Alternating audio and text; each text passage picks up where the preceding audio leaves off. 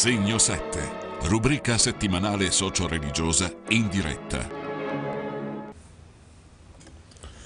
Buonasera a tutti voi telespettatori e bentornati a Segno 7 per questa nuova puntata, la tredicesima della 33esima edizione.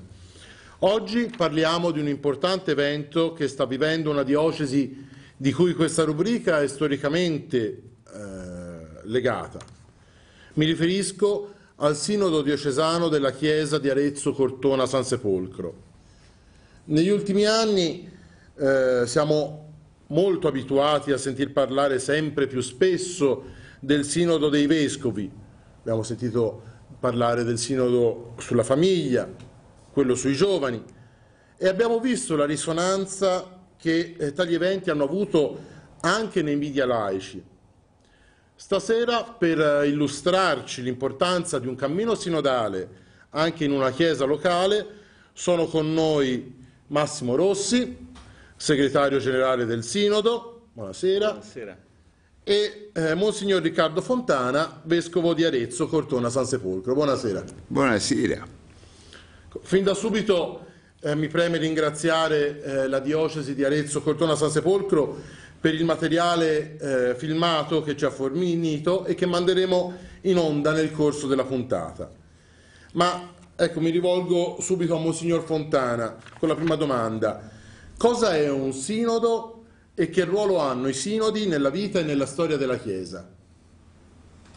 È un'esperienza bellissima, dove che il popolo di Dio sia pensante l'ho sempre creduto, ma fare l'esperienza di partecipazione che abbiamo visto, eh, la nostra gente che si è espressa, che ha studiato, che ha parlato, che è intervenuta, eh, l'ultima congregazione eh, generale in una giornata 122 interventi in aula davanti ai 500 che eh, costituivano il nostro sinodo. È bello, ma soprattutto è bello perché cambia la gente, cambia il rapporto, eh, eh, fa un laicato partecipante, eh, un laicato coinvolto, non è più come prima. Eh, l'idea di rendersi conto che quando sei a rappresentare eh, ciò che il Signore chiede dalla Chiesa, tutti siamo coinvolti. Una Chiesa coinvolta è veramente un dono di Dio. Ecco, come è nata in lei la necessità di convocare eh, la propria Chiesa in sinodo? Beh, eh, c'è bisogno eh, di mh, riflessione, c'è bisogno di programmazione, c'è bisogno di dialogo. Sono grandi temi. Ora, la Chiesa Aretina è, è, è l'ultimo sinodo eh, giuridicamente valido fu quello del mio predecessore Mignone del 1936, dopo, dopo 83 anni bisognava pure fare qualcosa e, e peraltro sono successi due grandissimi eventi, uno della Chiesa, eh, inter, della Chiesa universale che è il Concilio Vaticano II. Il secondo evento, direi eh, per noi importantissimo, eh, San Giovanni Paolo II ha soppresso tre chiese antiche creandone una sola, Arezzo, Cortona, San Sepolcro. Direi che questa, eh, questa novità ormai eh, sperimentata, vissuta, cercata, eh, ha avuto la necessità di una verifica, la necessità di eh, far diventare eh, un concerto armonico le varie espressioni, la nostra identità, la nostra missione, la nostra voglia di servizio eh, nei confronti di un popolo che è profondamente cambiato, onestamente. Eh, la situazione in cui stiamo vivendo è proprio diversa da quella eh, di epoche passate. Eh, bisogna, eh, è bellissimo perché bisogna misurarsi col nuovo. Il Vangelo perenne da dirlo alla gente del nostro tempo. Ecco, manderei ora in onda il primo eh, servizio che eh, ci descrive eh, la genesi del, del sinodo e eh, la sua apertura. Prego.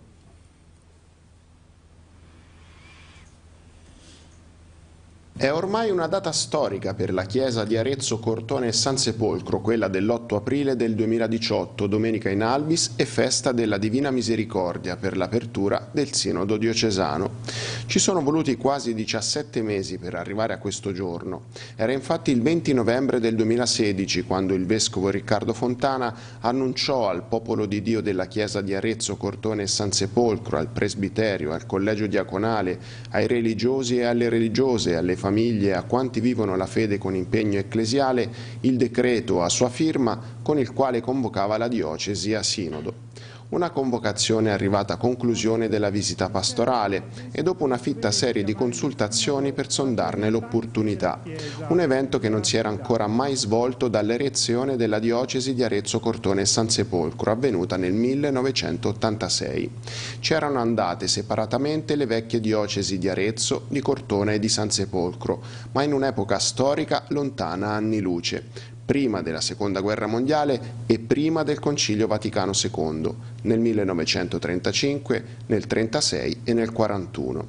Una riflessione partita da lontano, quella di andare a sinodo, che ha visto il favore del Consiglio presbiterale, del Consiglio pastorale diocesano e poi, per acclamazione, il via libera anche nel convegno di Laverna, evento che tradizionalmente avvia l'anno pastorale, svoltosi nel settembre del 2016.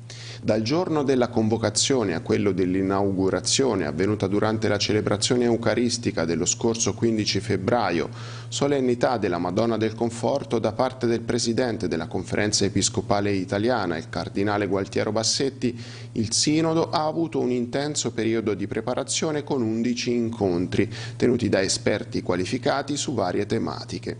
Un periodo nel quale sono stati approfonditi i temi di maggiore attualità per la Chiesa locale, sui quali urge una riflessione comunitaria, un dibattito franco e decisioni condivise. Itinerario culminato con l'elezione dei sinodali, alcuni dei quali de iure, a causa dei particolari incarichi che ricoprono, altri di nomina vescovile e per la stragrande maggioranza eletti dalle varie comunità di appartenenza. Si è raggiunto così il numero di 470 persone, in grande maggioranza laici, ma anche presbiteri, diaconi, religiosi e religiose. Un corpus rappresentativo dei vari territori di appartenenza, in una diocesi molto vasta, delle molte realtà associative e dei movimenti, ma anche delle competenze e carismi presenti, cercando di avere particolare attenzione alla rappresentanza giovanile e femminile. Così l'8 di aprile scorso, dopo una messa presieduta dall'Arcivescovo, i sinodali hanno lasciato la cattedrale in processione per raggiungere la Basilica di San Domenico per la prima congregazione generale. A partire da quella data i partecipanti si sono riuniti in 41 gruppi, denominati circoli minori, composti indicativamente da una dozzina di persone, dove è stato analizzato l'istrumentum laboris, uno strumento di lavoro analizzato, discusso, emendato in numerosi incontri dove ciascuno ha potuto dire la sua, portando il proprio bagaglio di esperienze, sensibilità e vissuto. Giovani e anziani, laici e presbiteri, persone che vivono la fede in differenti comunità, hanno discusso anche animatamente con passione di tantissimi temi, dal ruolo del laicato nella Chiesa a come vivere più intensamente la preghiera e le liturgie, da come coinvolgere i giovani a come impostare il rapporto tra aggregazioni laicali e istituzioni, ma anche unità pastorali, evangelizzazione e dialogo con i non credenti. Un lavoro protrattosi fino al 29 di giugno scorso, giorno in cui la Chiesa ricorda i santi Pietro e Paolo, patroni di Roma e della cristianità. Al termine di una messa in cattedrale, i 470 sinodali si sono recati in processione alla Basilica di San Domenico. I moderatori, ovvero i coordinatori di ciascuno dei 41 circoli minori, ha consegnato nelle mani del Vescovo Riccardo Fontana il frutto del lavoro del proprio gruppo. L'Arcivescovo ha quindi consegnato queste relazioni ai tre circoli maggiori, composti dai moderatori dei 41 circoli minori. I circoli maggiori hanno provveduto così a sistematizzare le molteplici proposte scaturite dal dibattito nei piccoli gruppi, hanno redatto un rapporto conclusivo che è stato così consegnato nelle mani dell'Arcivescovo il 7 di agosto per la festa di San Donato, patrono della città di Arezzo e della diocesi. Gli elaborati dei circoli maggiori sono stati la nuova bozza di discussione sulla quale si sono incentrati i lavori della seconda congregazione generale, svoltasi poi a metà settembre.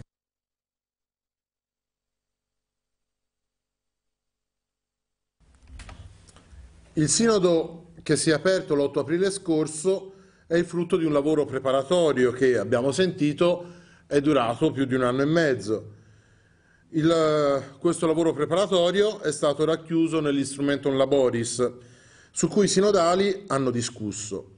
Ecco, chiederei ai, ai miei ospiti di descriverci questo Instrumentum Laboris, magari eh, il, soprattutto per quanto riguarda le tematiche su cui il Sinodo è stato eh, chiamato a riflettere. Eh, se magari Monsignor Fontana ci vuole illustrare un po' lo spirito dell'Instrumentum Laboris e poi magari Massimo Rossi eh, ce lo può più descrivere magari più dettagliatamente. Eh, L'Instrumentum Laboris è diviso in tre parti che aggregano i temi di maggiore interesse in questo momento per la nostra Chiesa. In ascolto della Evangeli Gaudium, dell'insegnamento di Papa Francesco, con la volontà di declericalizzare l'esperienza di Chiesa e di coinvolgere il laicato. Ma come coinvolgerlo? Intanto eh, una riflessione sull'identità comune. Basta raccontare eh, la storia. Eravamo, eravamo tre diocesi e l'abbiamo detto per 30 anni e ora bisognerà dire chi siamo per essere eh, eh, pronti a rispondere alle esigenze del tempo presente. Lo si ricava facilmente, eh, ogni chiesa viene fuori da una storia particolare, ma la definizione di Chiesa ce la dà il Vaticano II, inutile girargli intorno.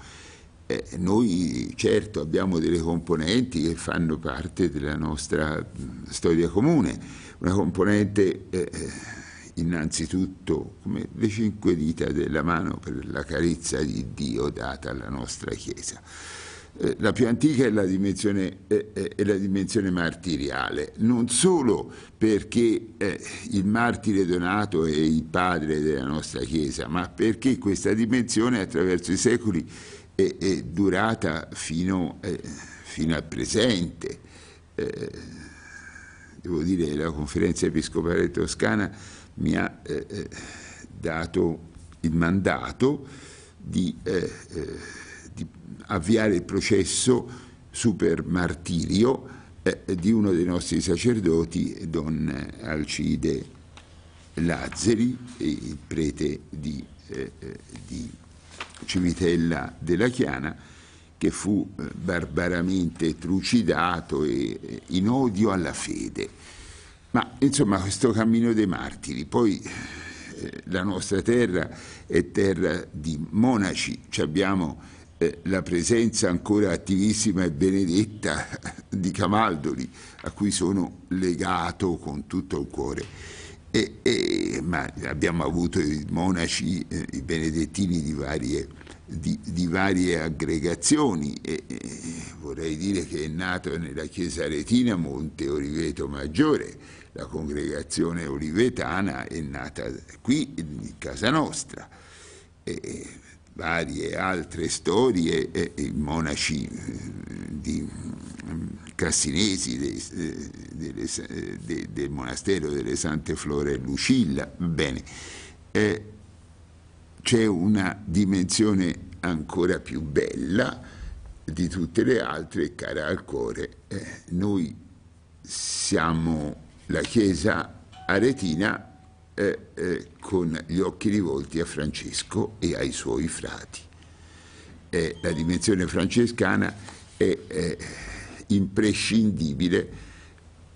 Questa è la chiesa di Laverna, è la chiesa punteggiata in, in Valtiberina, ma anche in Arezzo, anche in Cortona. Mi piace ricordare le celle di Cortona, una presenza di Francesco di lui stesso e poi una presenza costante come lievito dentro eh, la massa per il rinnovamento costante della nostra Chiesa attraverso, eh, attraverso il tempo.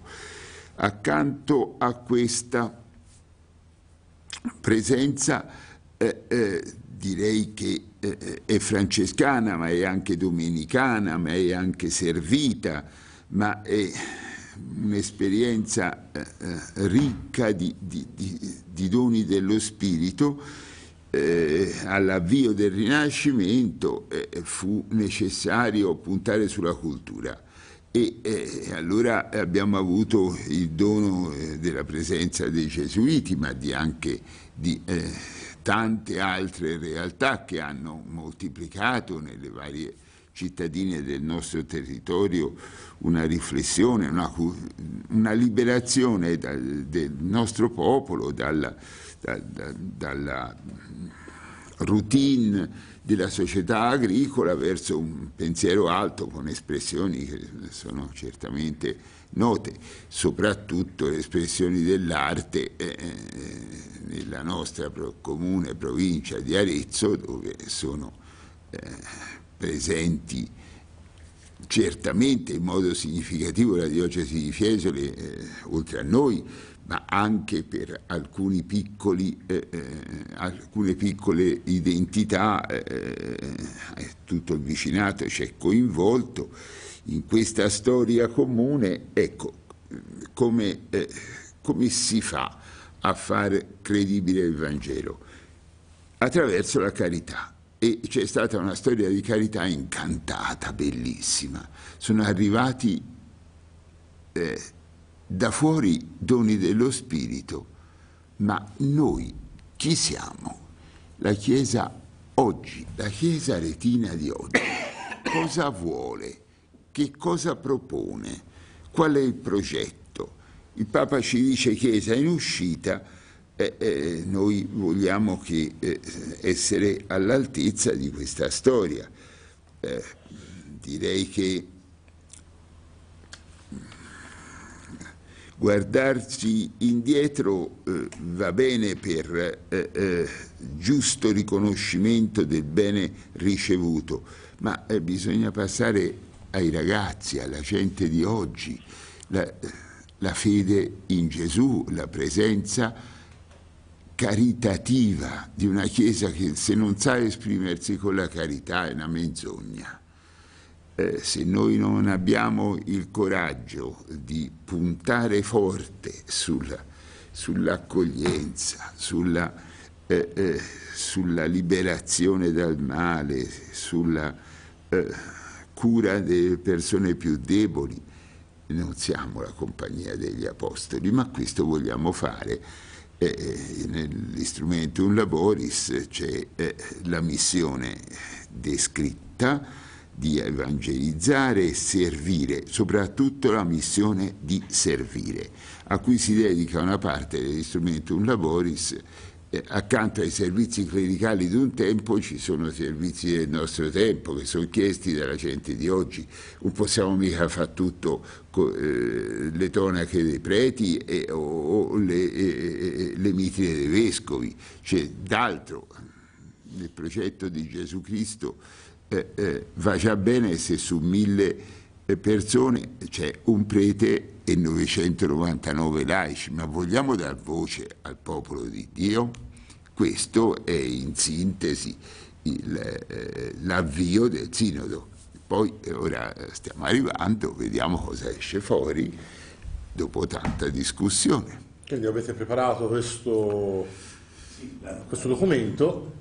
Del sinodo, il vescovo Riccardo l'ha detto, questo sinodo è particolare perché per la prima volta nella storia almeno di questa nostra chiesa diocesana, eh, ma perché è venuto dopo il Concilio Vaticano II, abbiamo un sinodo diocesano con i laici, eh, perché eh, i sinodi che il vescovo ricordava eh, si celebravano, ma attorno al vescovo c'erano essenzialmente i sacerdoti, eh, che sono ovviamente i primi collaboratori del vescovo e hanno un ruolo importantissimo anche nel nostro sinodo. Però per la prima volta noi, fra i 500 sinodali, due terzi sono laici e sono espressione delle, eh, quelle che il Vescovo spesso chiama, sono le 900 comunità eh, sparse nel nostro territorio, perché insieme alla preparazione eh, sui testi, la preparazione spirituale, la preghiera, c'è stato anche un movimento organizzativo, perché il Sinodo mette in moto, è una macchina complessa, eh,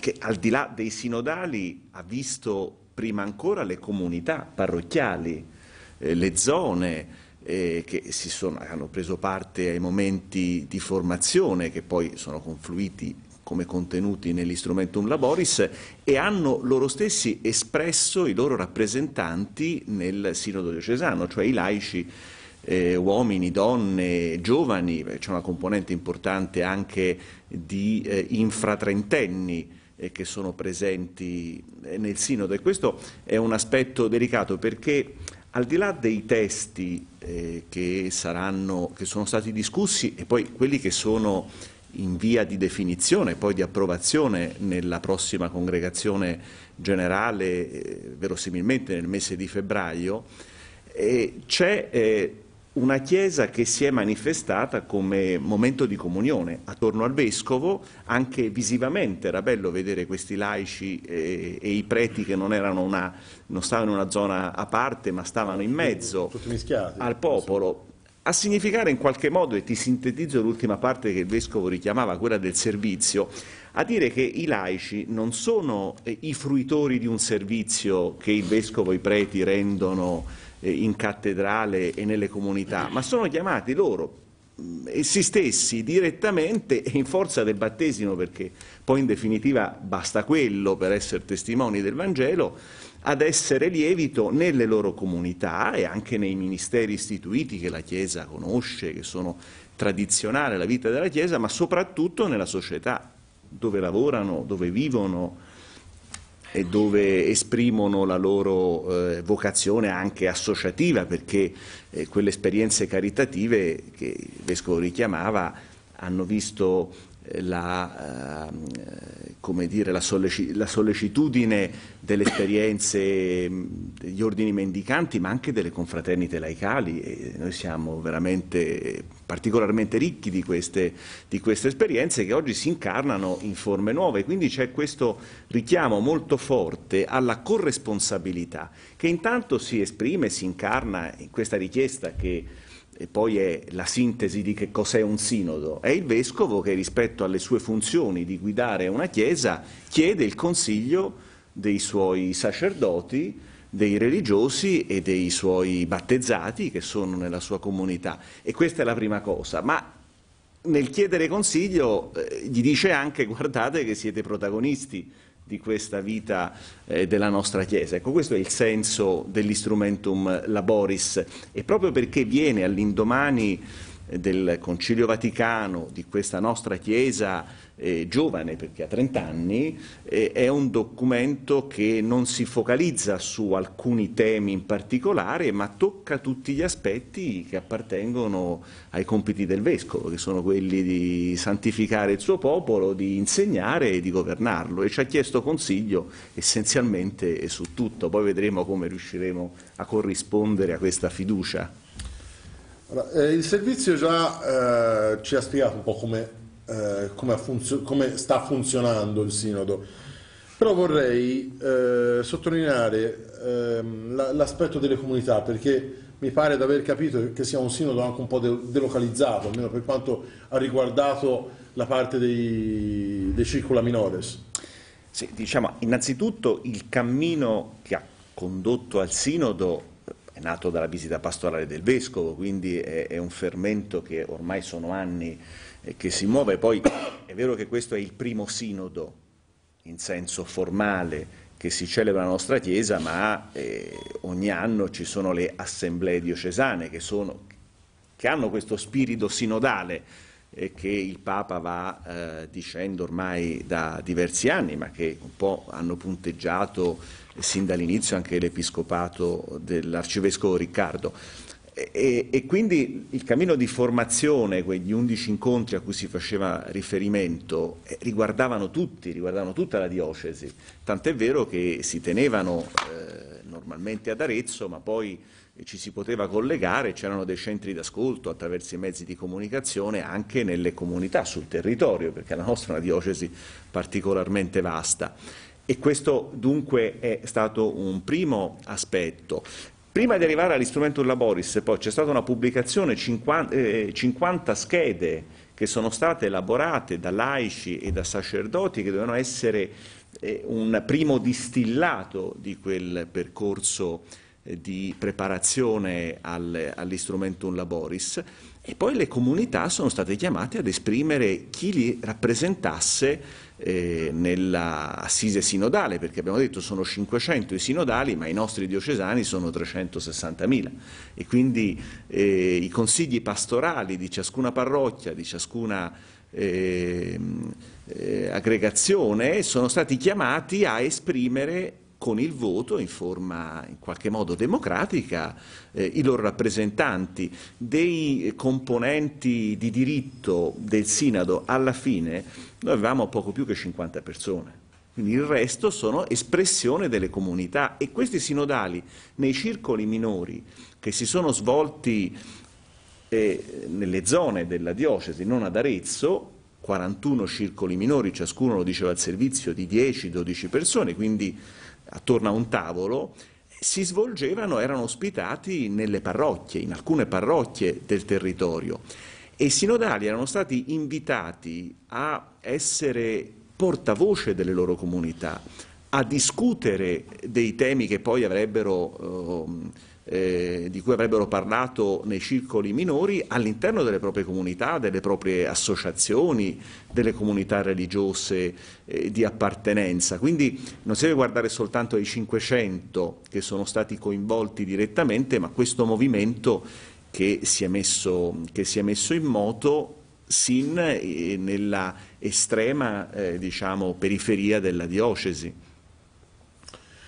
Ecco, ehm, all'inizio eh, del, vorrei tornare a quello eh, che ci ha già raccontato Monsignor Fontana, perché all'inizio della prima congregazione generale eh, Monsignor Vescovo ha voluto manifestare e ricordare l'intenzione di proporre l'avvio di un processo di, eh, di canonizzazione, ce l'ha, già, ce l'ha già ricordato. Ecco, è, perché l'ha voluto ricordare proprio in avvio dei lavori?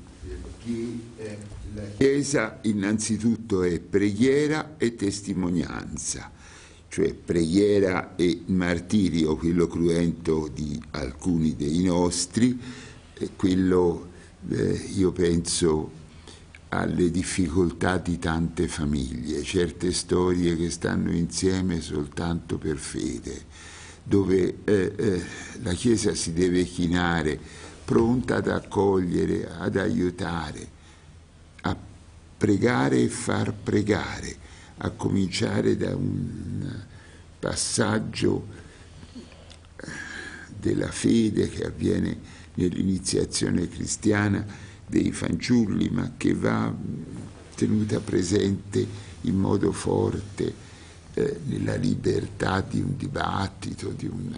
Noi siamo sicuri che la nostra parte eh, è quella di richiamare alle risorse, alle risorse soprannaturali che il tempo presente sta dimenticando molto spesso, eh, abbacinato dall'economia. Credo che eh, bisognerà ritrovare la dimensione eh, antropologica. Eh, ricordo ancora con emozione Lecce Homo che sotto eh, la cupola di Santa Maria del Fiore, questo eccezionale Papa ci ha saputo ridire Toscana, svegliati perché tocca di qui far ripartire una visione cristiana dell'uomo. E noi vogliamo fare la nostra parte, tutto lì nel nostro piccolo, sapendo d'essere, d'essere una eh, delle 18 realtà diocesane e, e, e, di questa terra. Noi abbiamo eh, una vicenda singolare perché eh, 836 comunità, l'autorità civile ci ha, eh, ci ha eh, certificato, eh, abbiamo 246 parrocchie, abbiamo, se Dio vuole, un grande aiuto di tanta gente. Eh, mi piace ricordare che quando nel, nei mesi di preparazione del Sinodo eh, eh, veniva proposto ogni tema e trattato da eh, personaggi preparati, molto noti di livello nazionale nell'ambito specifico. Eh, poi i media sono stati provvidenziali perché abbiamo avuto eh, tramite, eh, tramite, i contatti eh, con eh, la televisione abbiamo avuto un numero incredibile di persone che si sono interessate a vedere che succedeva. Stiamo andando in pubblicità, quindi se può... Continuiamo dopo. Va bene. Mi permetto di interromperla perché parte la pubblicità. Eccoci di nuovo in studio eh, per questa puntata dedicata al Sinodo diocesano della Chiesa di Arezzo Cortona San Sepolcro. Eh, prima eh, del, dell'intervallo pubblicitario ho interrotto Monsignor Fontana che ci stava parlando anche dei, dei doni che sono arrivati durante eh, questo eh, cammino sinodale. Magari riprendiamo il tema eh, dopo. Avrei ora un'altra domanda. Nel commento televisivo alla cerimonia di apertura del Sinodo si faceva notare come eh, Monsignor Fontana abbia lavorato alacremente e spronato perché il Sinodo si aprisse nella domenica in Albis, nella domenica che da alcuni anni conosciamo come la domenica della Divina Misericordia. Ecco, che messaggio uh, voleva legare a questa, a questa accoppiata, apertura e domenica in Albis?